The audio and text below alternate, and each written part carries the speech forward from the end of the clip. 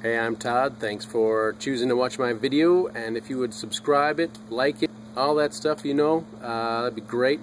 Otherwise, enjoy the video, and I hope it uh, gives you the information you need and is helpful to you. Take care. Back side. This is facing the facing the uh, firewall on a 2007 HHR dash removal for heater core or evaporator. Three 13 millimeter bolts, I believe, in here on this side through a panel. Four studs for the brake right here. Two studs on the engine side to take off 10 millimeter nuts. Heater core hoses, AC lines. Three more bolts over here.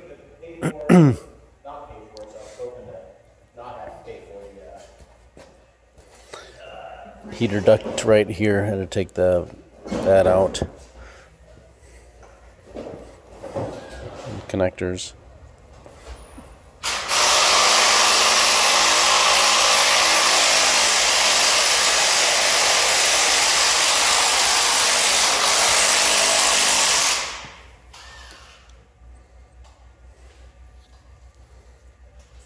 Of course, the steering column wires probably too. Pretty much a pain in the butt.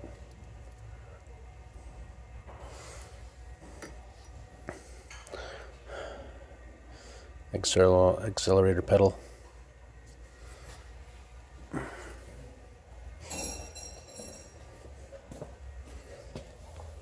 The whole center console. Annoying. Connectors for the computer.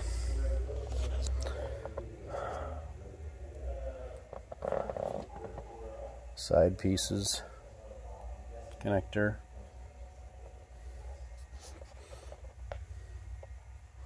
Nothing up here on the top, no screws.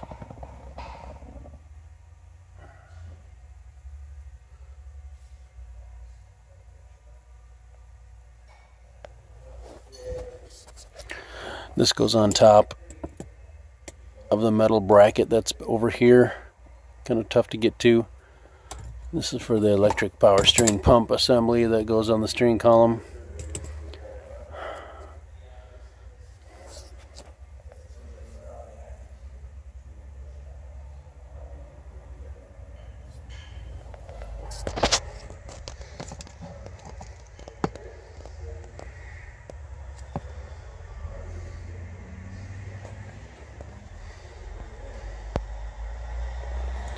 That is the summary. Hopefully, this helps someone. I didn't see anything online. We'll try and add to this video, hopefully, some stuff.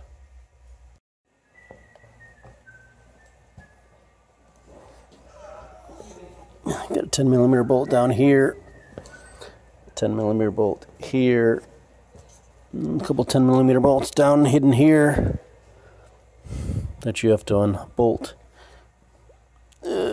Can't even really see them. Oh, for sure one right there. And there's one more. If you uh, remove this rubber piece, remove all the electrical connectors from everything. This has one seven millimeter bolt in it. That went somewhere over here, I believe. Right there. Because it kind of hooks in here in the hole, so it was easier to take it off.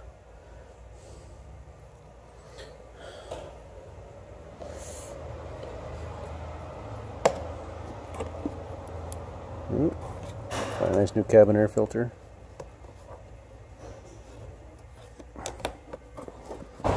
Right there. Not bad.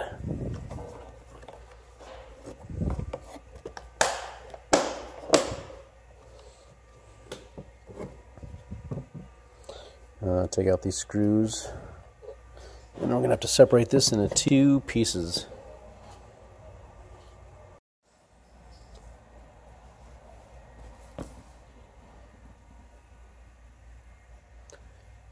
Heater Core HHR 2007.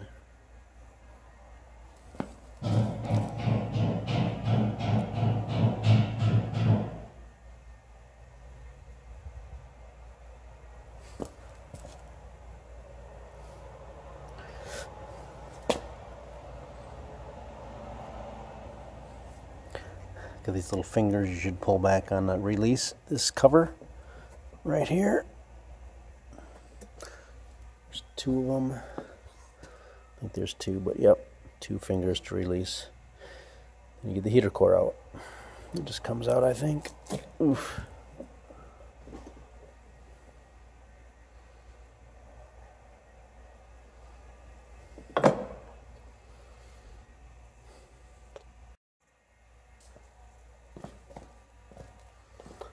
This has little fingers if you're trying to get to the uh, evaporator as well. Look out for those fingers.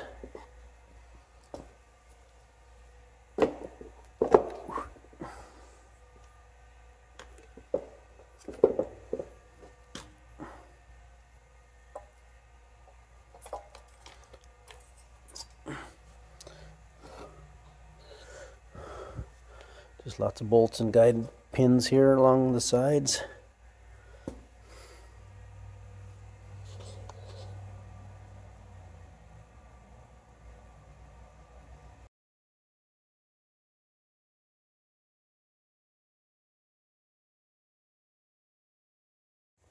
All right, with a little bit of force, you can get this centerpiece out. This is going back together, but when you're taking it apart to get the dash out, that can come out. Three bolts on the side, on this side, and three on the other side.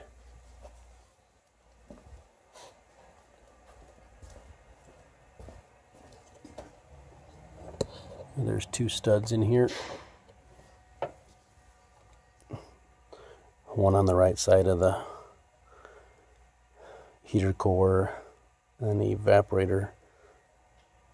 And then there's one up here on the left. I did another one, but it didn't, need to be done. That one does not need to be undone. So those two studs there, we did unbolt this and take the four nuts off for that and pull this back a little bit to make it easier to get in and out.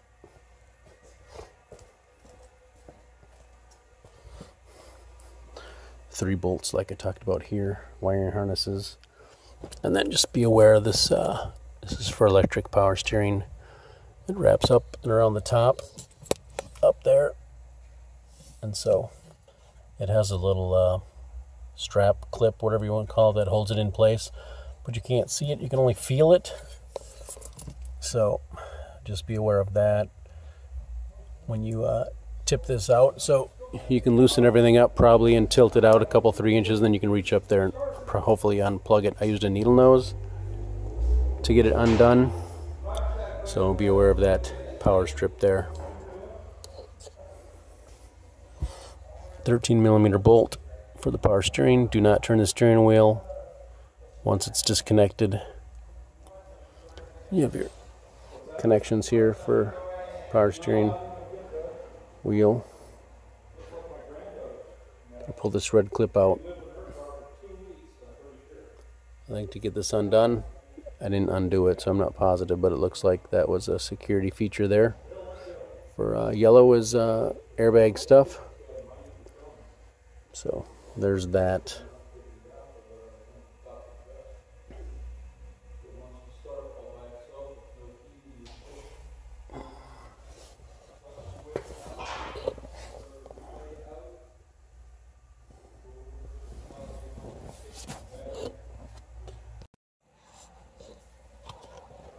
Got those two side pieces, just got electrical connector. Little finger here. Fits in the slot hole. So we'll plug it in. Uh, where's my plug in? I I lost it. Dang it. Uh. So don't lose your plug in underneath here.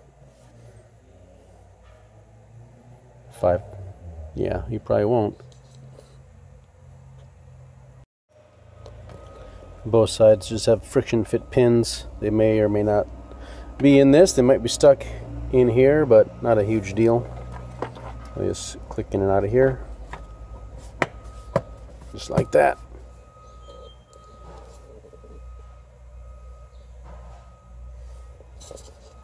That snapped into place as one finger, then one 7 millimeter bolt under a cover.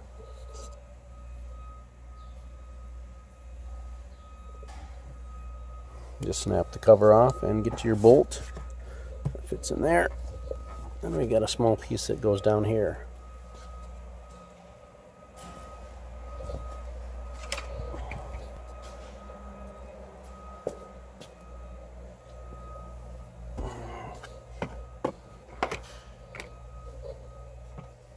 Hmm.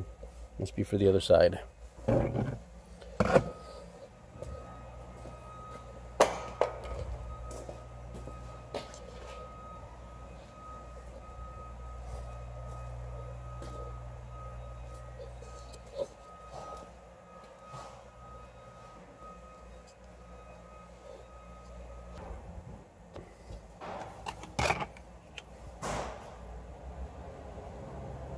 Again, just friction fits.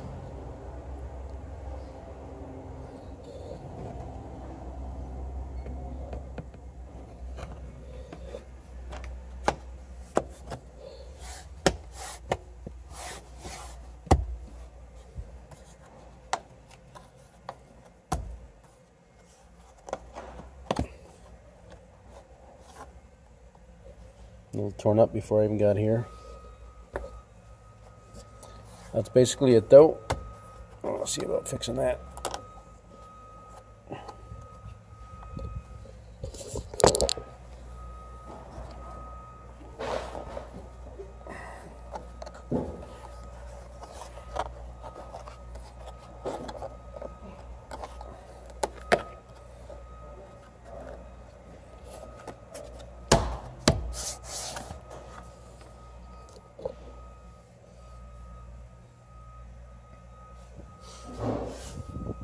Boom. Do the same for the other side, pretty much the same setup.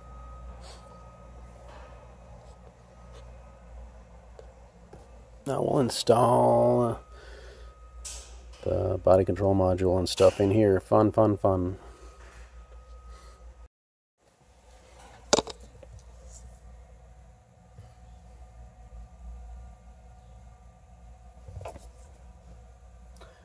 Four nuts back there.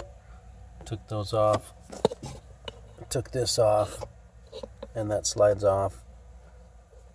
13 millimeter bolt for this. Try and mark it so you can put it back in the same spot so the steering wheel's straight. Uh, pivot bolt. Up here is a pivot bolt.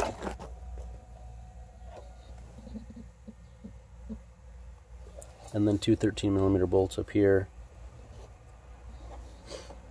hold it in place and then you have your electrical connectors all the electrical connectors on your steering column. Need to unplug them.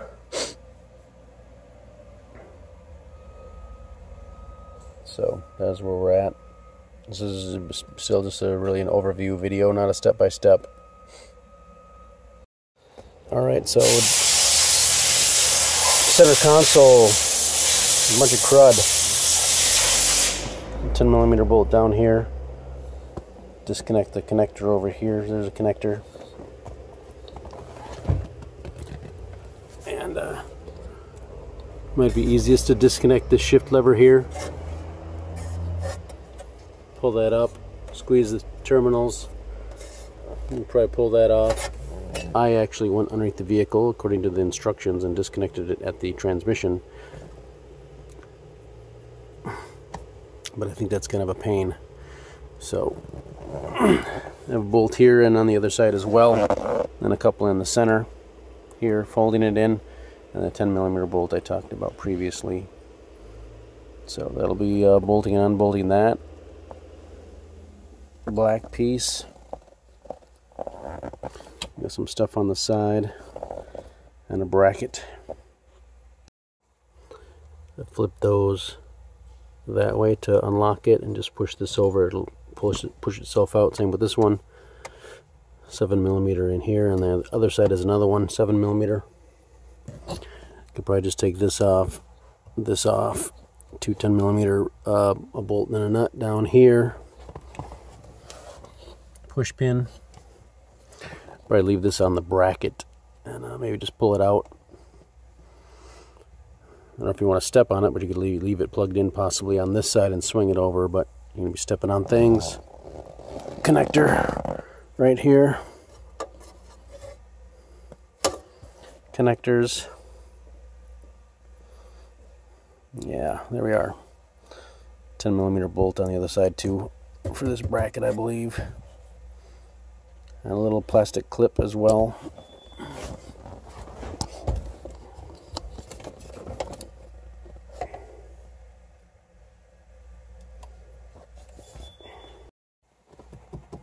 Got this piece in, two 10 millimeter screws, bolts, nuts, two 10 millimeter nuts,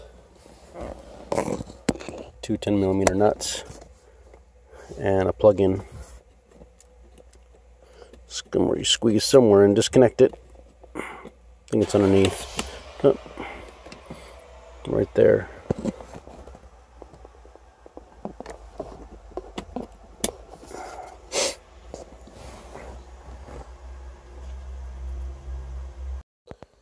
Alright, so I guess this is a little weird. So open up your back hatch. I would disconnect your battery if you're doing this job. I'm not sure if it says that you have to, but I'd open up the back hatch, disconnect the battery, leave the hatch open because it's electronic and you won't be able to open it with the battery disconnected.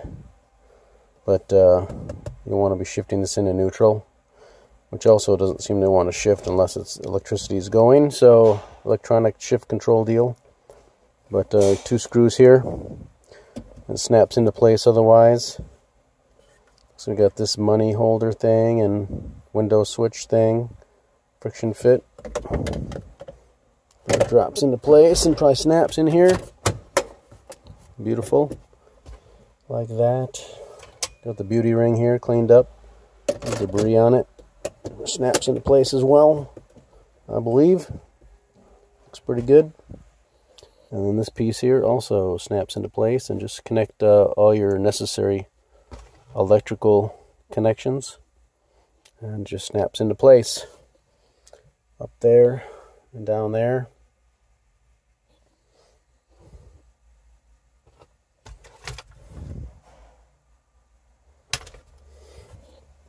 That's it.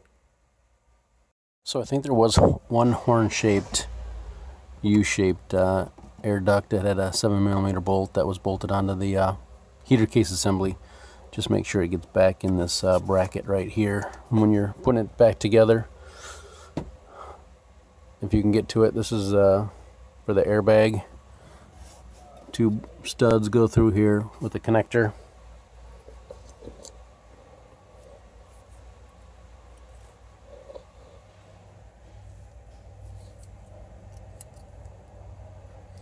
Get to push that red tang backwards like it is and then you can release it.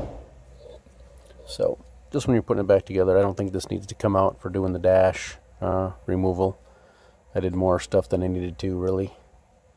So but just be aware of that piece when you're bolting it in. Make sure it's all together before you put it in. Alright, HHR got the order wrong, so to back up. So this goes in because it tucks behind here. So then we can snap this back into place really. And put our two screws in.